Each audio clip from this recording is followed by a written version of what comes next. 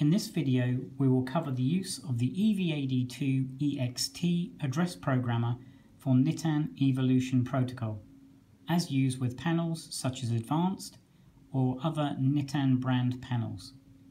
It should be noted that the EVAD2 EXT programmer cannot be used for Nittan Sensortec AS protocol, as implemented on the Morley panel and other legacy panels. The use of good quality alkaline batteries is recommended as poor quality batteries can affect the operation of the device. Switch on the programmer and allow it to power up. Then place your detector on the programmer and press search address. The programmer will cycle through other data initially and then come to rest on the device address. Then you can press the plus 100, plus 10, plus 1 to choose the desired address and then press set address. The new address will then be displayed and a green LED will confirm OK. You can then remove the device from the programmer and move on to the next.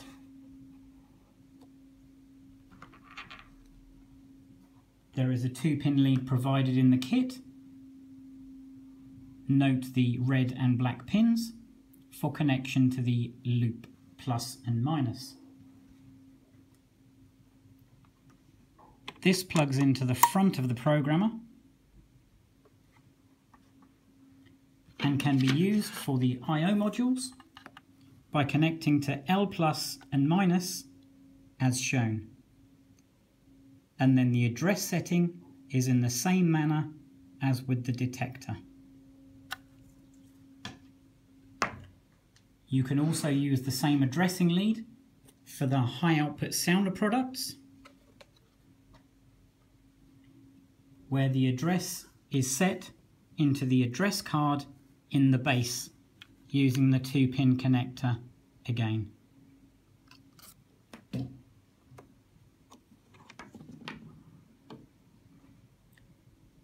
There is also an adapter plate provided in the kit which can be fitted to the programmer like so and used to set the address of the EVAV2 and the EVSDR products.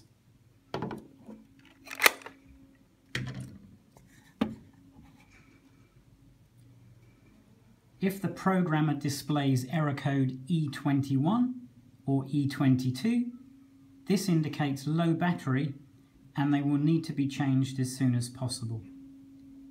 If the display shows error code E03, this indicates a communication issue between the devices. Check all connections, particularly when using addressing interfaces. This could also be an indication of poor quality batteries. Please refer to the manual for further information. Thanks for watching and to see other helpful videos, please go to the Nittan YouTube channel.